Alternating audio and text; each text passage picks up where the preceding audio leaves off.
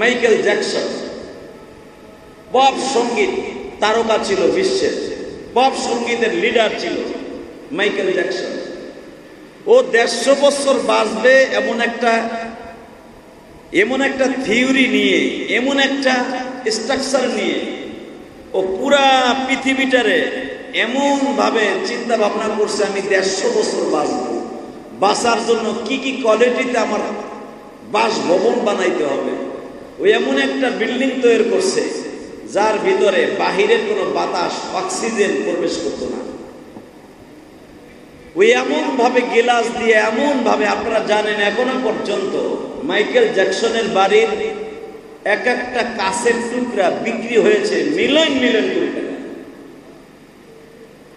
Michael জ্যাকসনের জুতা বিক্রি হয়েছে মিলন মিলন কোটি টাকা। মাইকেল জ্যাকসন যে জুতা পরিধান করত, স্বর্ণের জুতা। মাইকেল জ্যাকসন যে টুপি পরতো, এটা স্বর্ণের। পৃথিবীতে মাইকেল জ্যাকসনের মতো শিল্পী, পপ সঙ্গীতের ভিতরে আজও পর্যন্ত এত শান শওকতের সাথে কোনো শিল্পী জন্ম নেয়নি এত টাকার মালিক ছিল, এত কিছু, আর মাইকেল জ্যাকসন কোন জিনিস তার কিনে পড়া লাগতো না। খালি মনের ভিতরে একবার বলতো যে আমার এটা দরকার। বিভিন্ন কোম্পানি তার দেওয়ার জন্য পাগল ছিল। আপনারা জানেন, মাইকেল জ্যাকসন যখন, অনেকে বলে মাইকেল জ্যাকসন এতেকালের আগে মুসলমান হয়েছে কেন মুসলমান হয়েছে এর পিছনে কারণ আছে সুবাহ মাইকেল জ্যাকসন কেন মুসলমান হয়েছে এটা খ্রিস্টানের বাচ্চারা এটাকে গোপন রেখেছে। কারণ মাইকেল জ্যাকসনকে তো তারা এমনভাবে গেলাসের মধ্যে দাফন করে রাখছে, অক্সিজেন মানে কোলেস্ট্রলের মধ্যে। মাইকেল জ্যাকসনে কিন্তু তাদের ধর্ম অনুসারে দাফন করা হয় না তারে রাইখে দিছে হিমাগারের মধ্যে। তারা বছরে একবার তাকে দেখে এবং তাকে নিয়ে রিসার্চ করে যে তার কণ্ঠের মধ্যে কি দিছে, তার মাথার মধ্যে আল্লাহ কি দিছে। এটা রিসার্চ করার জন্য রেখে দিয়েছে বেইমানের বাচ্চারা। কিন্তু মাইকেল জ্যাকসন এতেকালের আগে বলেছিল যে, আমারে মুসলমান মতে তোমরা দাফন করে দিও। লেখক লেখে আজ থেকে মাইকেল জ্যাকসনের মৃত্যুর ছয় মাস পরে ফেসবুকের ভিতরে একটা লেখনি দিছিল, আপনি দেখছেন কিনা? আমি নিজে দেখেছি। এবং এটা পেপারও আসছিল মাইকেল জ্যাকসন বলেছিল যে, আমি পৃথিবীতে বেঁচে থাকার জন্য অনেক চেষ্টা করছি। কিন্তু আমি যখন দেখছি জন দূত আজরাইলকে বলে জমদূত হিন্দুরা আজরাইলকে বলে জমদূত খ্রিস্টানেরকে বলে জমদূত জমদূত কাকে বলা হয় যে একবার ধরে আর ছাড়ে না। বুঝেন না আমার কথা? জমদূত কাকে বলে? দূত মানে প্রবাহ, আসে একজনের পক্ষ থেকে। সে এমন একটা জমদূত এমন একটা শব্দ যে একবার যাকে ধরে, সে আর তাকে ছেড়ে দেয় না, তার জীবন শেষ করে দিয়ে যায়, তার নামই তো মালাকুল মউত। ঠিক না বেটি মাইকেল জ্যাকসন ইন্তেকালের আগে উনি লিখে গেছে যে আমি আমাকে মুসলমান ধর্ম হিসাবে তোমরা আমাকে দাফন করে দিও। কারণ আমার এই চোখ দিয়ে জমদূতকে দেখেছি। আমার এই চোখ দিয়ে দেখেছি এই পৃথিবী রঙের বেলুন আইজ আছে কাল নাই, বাহাদুরি করে কোনো লাভ নাই, ঠিক না বেটে? মাইকেল জ্যাকসন বাসার লেগে যদি এত কিছু করে থাকে, এত শান শওকতের মধ্যে ছিল, মাইকেল জ্যাকসনের পানি বাহিরের থেকে আসা হইতো মাইকেল জ্যাকসনের পানি, যেই পানি পান করত, ওই পানি কেউ ইউজ করতো না। মাইকেল জ্যাকসন যেই জিনিস দিয়ে গোসল করত, ওই পানি আর কেউ ইউজ করতে দিত না। সরকার স্পেশাল তার জন্য পানি বানানো হতো। এত কিছুর পরেও উনি বেঁচে থাকতে পারছে। জোরে কর। আরও জোরে পারে নাই মেরে ভাই বদর্গ ভালো করে বুঝবেন, রসুলের কিছু সাহাবি ছিলেন, বিশ্বনবী বলতেন, সাহাবিরা রে, তোমরা আমার সামনে থাকলে এক হাল। আমার সামনে যখন তোমরা আসো, তোমাদের পরিস্থিতি হয়ে যায় একরকম। আবার যখন তোমরা বাসায় যাও, তোমাদের পরিস্থিতি হয়ে যায় আগার একরকম। لا يؤمن أحدكم حتى أكون أحب إليه من والده وولده والناس أجمعين বিশ্বনবী বলেন তোমরা যত সময় পর্যন্ত আমাকে ভালোবাসবা না আল্লাহ ইউমিনু আহাদুকুম তোমাদের মধ্যে আহাদু কুম জমার সিগা তোমাদের মধ্যে তত সময় পর্যন্ত ওই ব্যক্তি কামেল মোমেন না লা ইউমিনু আহাদুকুম হাত্তা আকুনা হাব্বা ইলাই আমারে ভালোবাসবা না ওই ব্যক্তির থেকে। মিওয়ালিদিহি ওয়া ওয়ালাদিহি। রসুলকে অন্তর থেকে সরায় নেয় আপনারা জানেন, রসুলের কিছু কিছু সাহাবি ছিলেন, যারা রসুলের জন্য জীবন দিতে প্রস্তুত ছিলেন। এমনকি যেই চোখ দিয়া রসুলকে দেখতে পারবে না, ওই চোখ দুইটা নষ্ট করে দিতে বলছে আল্লাহ। তার জ্বলন্ত প্রমাণ হলে রসুল আকরাম সাল্লাহ আলী ওয়াসাল্লাম যেদিন ইন্তেকাল করলেন, রসুলের একজন সাহাবি ছিলেন। নাম ছিল তার জায়েদ। কি নাম ছিলেন? জায়দ এমনি হারেসা না, জায়দ এমনি হোজাইফা জায়দ এমনি হোজাইফা রসুলের অত্যন্ত প্রিয় সাহাবি ছিলেন। উনি একজন কৃষক মানুষ ছিলেন, কৃষক। ক্ষেত খামারে কাজ করতেন। যেদিন শুনলেন আল্লাহ রসুল ইন্তেকাল করেছেন, উনি আল্লাহর কাছে দোয়া করলেন। তখন উনি খেজুর গাছ পরিষ্কার করতেছিলেন। খেজুর গাছ গোড়ায় মাটি দিতেছিলেন, কাচি দিয়া। যখন শুনলেন রসুলের দুনিয়ায় নাই, সাথে সাথে দোয়া করলেন, আয় আল্লাহ, যেই চোখ দিয়ে আমার প্রিয় মাহবুবকে দেখতে পারব না, ওই চোখ আর আমি দুনিয়ায় চাই বান্দায় আল্লাহর প্রশংসা করে। আল্লাহ তার নেহমানকে এত পরিমাণ বৃদ্ধি করে দেয়। বান্দা কল্পনা করতে পারবে না যে আল্লাহ তাকে কত নেহমাত দিতে পারে বিশ্বনবী মোহাম্মদ রসুল্লাহ সাল্লাহ আলহি ওয়াসাল্লামের জামানায় রসুলের একজন সাহাবি ছিলেন অন্ত সাহাবি। অন্ধ মানুষের মনের মধ্যে অনেক কষ্ট আপনাদের জানা আছে। তার ভিতরে সবচেয়ে বড় কষ্ট হল জন্ম অন্ধ মানুষ।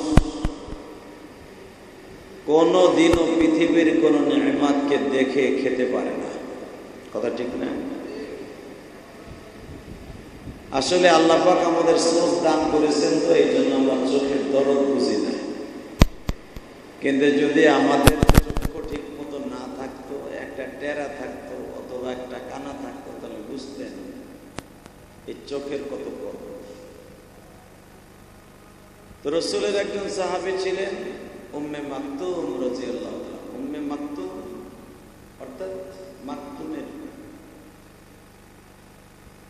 রসুল কাছে এই সাহাবিটা বসে থাকতেন এমন ভাবে যেন মনে হইতো যে ওর মনের মধ্যে শুধু রসুলই বিরাজ করে। রসুলকে পাগলের মতো ভালোবাসত।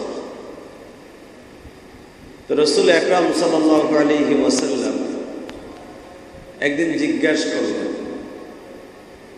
তুমি যে এইভাবে আমাকে ভালোবাসো, এইভাবে তুমি আমাকে তোমার জীবনের চাইতে বেশি ভালোবাসো, এর পিছনে কারণটা কি? রসুলের ওই অন্ধ সাহাবি বলতেছেন আল্লাপাক যদি তার কালামে হাকিমের মধ্যে বলেন, কুল ইন কুনতুম তুহিব্বুন আল্লাহ ফাত্তাবিউনি ইউহিব্বুকুম, ওয়া ইয়াগফির লাকুম যুনুবাকুম আল্লাহু কুল ইন কুনতুম তুহিব্বুন আল্লাহ নবী আপনি বলেন, যারা আমি আল্লাহর ভালোবাসা পেতে চায়, আমি আল্লাহর জান্নাত পেতে চাই মাপ পেতে চাই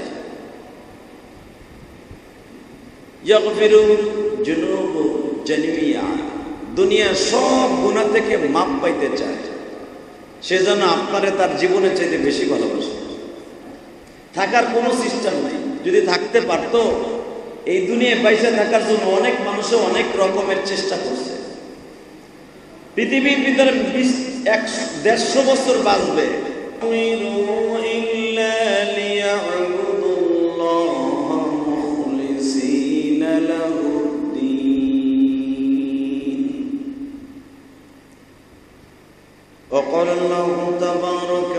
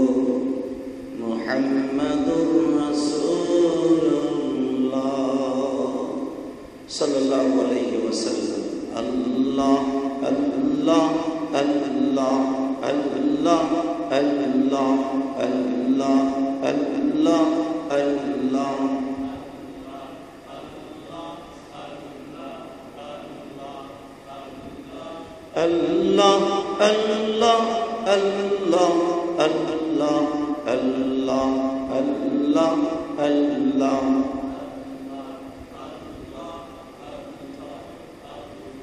لا إله إلا الله. محمد رسول الله. শাকিরিন মুহিব্বিন মুবাল্লিগিন আল্লাহর প্রিয় মাহবুব বান্দারা, আল্লাহ রব্বুল আলমিনের দপ্তরে লাখো করে শুক্রিয়া জ্ঞাপন করছি। যেই মহান সত্তা আপনাকে আমাকে পবিত্র জমার দিনে, এখানে আসার, বসার তৌফিক দান করেছেন। ওই মহান সত্তার শুক্রিয়া জোরে সরে বলে আলহামদুলিল্লাহ। لئن شكرتم لأزيدنكم ولئن كفرتم إن عذابي لشديد আল্লাহর প্রশংসা করলে নেয়ামাত আল্লাহ বাড়িয়ে দেয় আল্লাহর সাথে নাশক্তি করলে নেয়ামাত আল্লাহ কমিয়ে দেয় কথা ঠিক না আল্লাহ সুবহানাহু ওয়া তাআলা ভালোবেসে দয়া করে মায়া করে é pero son los intereses.